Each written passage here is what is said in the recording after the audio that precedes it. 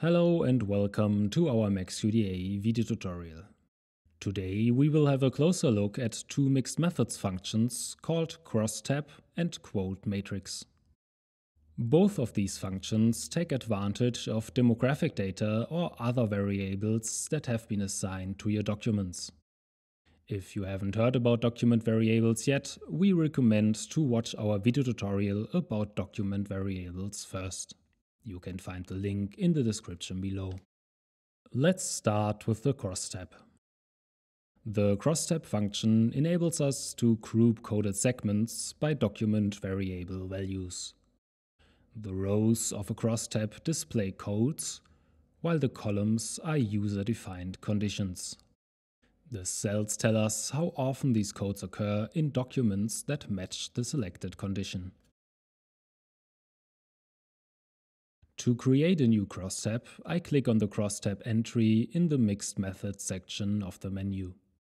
Let's say I want to find out how often some of my codes appear in interviews conducted in different locations.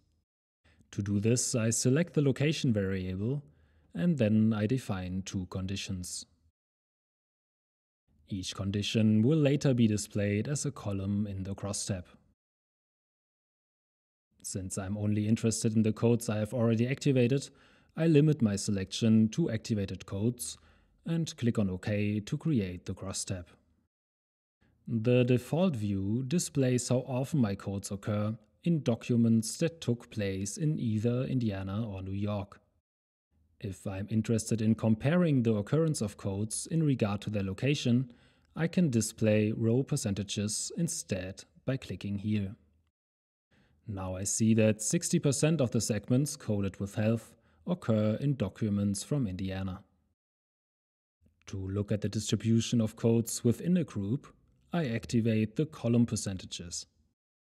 Now I see that approximately 27% of the coded segments in interviews conducted in Indiana deal with health.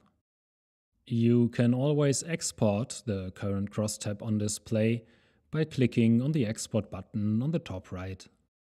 Select the file format and click on Save to continue your work with another application. Like most tools in MaxQDA, the crosstab is interactively linked to your original data. A double click on a cell therefore activates the respective code and all the documents that meet the defined condition so I can read the corresponding segments in the retrieved segments window. Instead of displaying the coded segments of one cell in MaxQDA, we can also export all the coded segments that the crosstab refers to. To do this, I simply click on the Quote Matrix button right here and click on Save.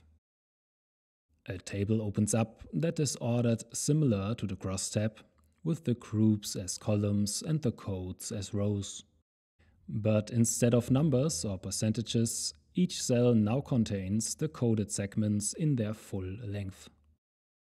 To help you find a segment quickly in your project, each segment ends with a comment that specifies the document and paragraph the segment comes from. Instead of going through the crosstab function to build a quote matrix, you can also create one directly from the Mixed Methods menu. The window is identical to the crosstab options. I just define my conditions in the same way. And after clicking on OK, the quote matrix with all the coded segments opens up.